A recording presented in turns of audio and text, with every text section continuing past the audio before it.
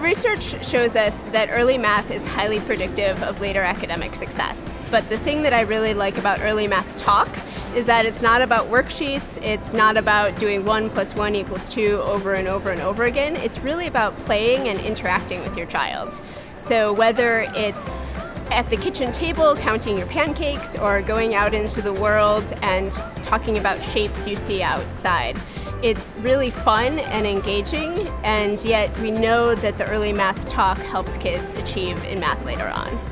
So Math Talk is a great strategy for teachers to incorporate to develop children's math language. So in the classroom, uh, if they mathematize by incorporating the math of what children do on a daily basis, children are able to learn vocabulary that happens during block building.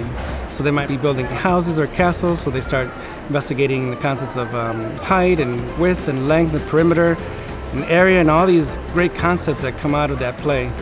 Math is the only universal language that's both silent and auditory, and exploring large numbers allows children to think about abstract things and play and imagine and innovate.